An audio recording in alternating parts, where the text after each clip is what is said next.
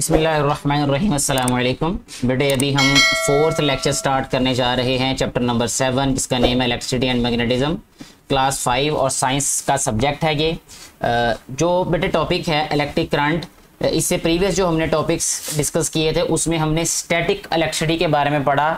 हमने ये पढ़ा था कि चार्जेस जो हैं, वो स्टैटिक भी होते हैं, ठीक है? यानी एक जगह पे मौजूद होते हैं। वो एक एक जगह से दूसरी जगह मूव नहीं करते। लेकिन आज हमने जो टॉपिक शुरू करना है, उसमें ये एक डिफरेंट टाइप है इलेक्ट्रिसिटी की। इलेक्ट्रिक करंट इसको कहते हैं। क्यों कहते हैं? इसकी एक्सप्लेनेशन भी हमें ये दी गई होगी यहाँ पे। तो आप गौर से इसको समझिएगा। आपको अच्छे तरीके से ये पता चल जाएगा। Have you ever notice that many toys have a switch आपको ये पता है, कभी आपने ये देखा कि बहुत सारे जो खिलौने होते हैं उन पे एक स्विच होता है, ठीक है, जिसको हम ऑन ऑफ़ स्विच कहते हैं। When you turn on their switches जब आप उसको ऑन करते हैं they start moving and stop when you turn it off जब आप उसको ऑफ़ करते हैं तो वो खिलौना चलना बंद हो जाता है, जब उसको ऑन करते हैं तो खिलौना चल, चलना शुरू कर देता है। ये फ़ैन की केस में भी ऐसा ही है। वाई डज इट हैपन ये ऐसा क्यों होता है कि जब उसको ऑन करते तो वो चलना शुरू कर देता है। जब आप उसको ऑफ़ करते तो वो बंद हो जाता है। You know that electric cell और a battery is use in this toys आपको ये पता है कि उस, उनमें इलेक्ट्रिक जो सेल्स हैं वो इस्तेमाल होते हैं, या बैटरी यूज़ होती है। The cell supplies energy for their working जो सेल्स हैं बेटे, वो एनर्जी सप्लाई करते हैं, उसको एनर्जी देते हैं ताकि वो चल सके गाड़ी वगैरह या जो भी खिलौना होता है। An electric cell is shown in the figure ये एक सेल दिखाया गया है हमें। ठीक है? Electric cell is shown in the figure it it's one end positive and the other negative other is negative एक इसकी साइड जो है वो पॉजिटिव है और दूसरी जो है वो नेगेटिव है. The negative end has excess of electrons जो नेगेटिव साइड होती है ना बेटे, उस तरफ़ इलेक्ट्रॉन की ज्यादती होती है. Whereas there is is a deficiency of electrons at its positive end और जो पॉजिटिव एंड होता है, वहाँ पर इलेक्ट्रॉन्स की डेफिशिएंसी होती है. ठीक है, यानी इलेक्ट्रॉन्स कम तादाद में होते हैं। When both ends are join अब इसमें होता यह है कि जब हम दोनों एंड्स को आपस में ज्वाइन करते हैं तो क्या होता है कि पॉजिटिव साइड की तरफ़ नेगेटिव साइड से इलेक्ट्रॉन मूव करना शुरू कर देते हैं, ठीक है? When both ends are joint through a metal metal wire and a switch जब स्विच और मेटल वायर के थ्रू इनको कनेक्ट किया रहता है द इलेक्ट्रॉन स्टार्ट मूविंग तो इलेक्ट्रॉन मूव करना शुरू कर देते हैं फ्रॉम नेगेटिव टू पॉजिटिव ठीक है? The electron start moving from the end with excess electrons to the end with deficiency of electron. This flow of electrons और charge is called electric current. इसको कहते हैं हम बेटा जी इलेक्ट्रिक करंट कहते हैं, यानी फ्लो ऑफ़ चार्जेस को।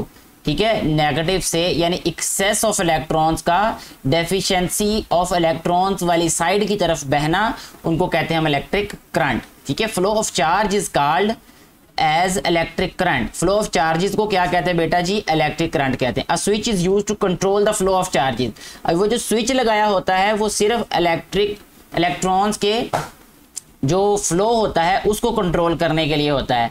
यानी अगर हम उसको ऑन कर देते हैं तो चार्जेस बहना शुरू कर देते हैं, और अगर हम उसको ऑफ़ कर देते हैं तो चार्जेस बहना बंद कर देते हैं। ठीक है बेटे? इसके बाद electric circuit and its component electric circuit कैसे कहते हैं और इसके कंपोनेंट्स क्या होते हैं? कहते हैं इन आवर होम्स हमारे घरों में we turn on the switch to light a bulb और और टू रन अ फ़ैन हम क्या करते हैं? स्विच को ऑन करते हैं लाइट जलाने के लिए या फ़ैन को चलाने के लिए। The same switch is use to turn turn them off और वही स्विच उनको बंद करने के लिए भी इस्तेमाल होता है। Various electric circuits are made for the for this purpose अच्छा अब इस काम के लिए क्या होते हैं? सर्किट्स बनाए जाते हैं। इलेक्ट्रिक सर्किट बनाया जाता है, जिसकी मदद से ये वाला जो काम है, ये उससे लिया जाता है। जैसे सिंपल इलेक्ट्रिक सर्किट क्या होता है? Let's make a simple electric circuit एक सादा सा इलेक्ट्रिक सर्किट बनाते हैं। कैसे बनेगा? कहता है insert torch bulb in a holder एक होल्डर में टॉर्च बल्ब लगाना है। ये सिर्फ़ डीसी की बात कर रहे हैं, सिर्फ़ डीसी सर्किट बना रहे हैं ये। ठीक है? Connect the bulb to a cell और battery through a switch with the help of a metal wire as shown in the figure turn on the switch and observe the bulb does it start glowing क्या इसने जलना शुरू कर दिया है? ये देखें, यहाँ पे इस एक्टिविटी में। अच्छा बेटे now turn turn the switch off अब स्विच को बंद कर दें एंड ऑब्ज़र्व द बल्ब और बल्ब को देखें कि क्या वो अभी भी चल रहा है या बंद हो गया है। Why did it stop glowing ये चलना क्यों बंद हो गया? कहता when the switch is turn on then why does the bulb start glowing जब हमने उसको ऑन किया तो फिर क्यों चलना शुरू हो गया? कहता bulb start glowing because an electric current flows through it तो इलेक्ट्रिक करंट जो है वो इसमें से बहना शुरू हो गया, इसलिए जो है वो बल्ब जलना शुरू हो गया। Electric current passes through the through the cell और battery bulb switch and wires as in the figure तो उसमें से क्या बहना शुरू हो गया बेटा जी? इलेक्ट्रिक करंट ठीक है, जो वायर वगैरह होती है और स्विच जो होता है। They together provide a path for current to flow through अब इन सबने मिलकर जो है वो एक पाथ या एक रास्ता जो है वो प्रोवाइड किया, जिससे जो है वो इलेक्ट्रिक करंट बहना शुरू हो गया या जो करंट है वो फ्लो करना शुरू हो गया। इसके बाद नेक्स्ट जो है वो है electric circuit is a path of flow of current असल में इलेक्ट्रिक सर्किट जो है, वो पाथ है, वो रास्ता है जिसपे जो करंट है वो फ्लो करता है। जी डू यू नो में बेटा कहा गया है a battery consist of more than one cell अच्छा अगर सिर्फ़ एक सेल होगा तो फिर हम उसको सेल कहते हैं। एक से ज़्यादा अगर सेल्स को अगर हम कनेक्ट कर दें तो फिर वो बैटरी बन जाते हैं, ठीक है? बैटरी उसको फिर हम बोलेंगे। अच्छा इसके बाद कहते हैं कि next as you as you see in the figure that battery bulb and switch are connected through wires in an electric circuit तो ये जो चीज़ें हैं बेटा, जैसे बैटरी है बल्ब है स्विच है, इनको सर्किट में जोड़ा गया है। बल्ब बैटरी और cell and switches are called the components of an electric circuit ये जो बल्ब है बैटरी है या सेल है, वो क्या कहलाते हैं? कंपोनेंट्स ऑफ़ इलेक्ट्रिक सर्किट ठीक है? इलेक्ट्रिक सर्किट जो है वो कंप्लीट करने के लिए हम जो जो चीज़ें उसमें इस्तेमाल करते हैं, उसको वे कंपोनेंट्स कहते हैं। पॉइंट पॉइंटर में कहता है if a battery if battery connection are reverse in a close circuit अगर इनके कनेक्शन को रिवर्स कर दिया जाए विल द बल्ब ग्लो क्या बल्ब जो है वो ग्लो करेगा? तो ये आपने बताना इसका आंसर आपको क्या लगता है? नीचे कमेंट करके ज़रूर बताइएगा कहता है battery is a source of electric current battery जो है बेटा एक सोर्स है इलेक्ट्रिक करंट का, जैसे सेल है source the switch is use to control the flow of current switch जो है, ये इनकी डेफिनेशन है. What define a battery define a switch ठीक है? स्विच का क्या काम होता है कि it control the flow of current and glowing bulb indicates the current is passing through it और जो बल्ब होता है ग्लोइंग बल्ब होता है, वो ये इंडिकेट करता है कि करंट जो है वो फ्लो कर रहा है। ठीक है बेटा जी?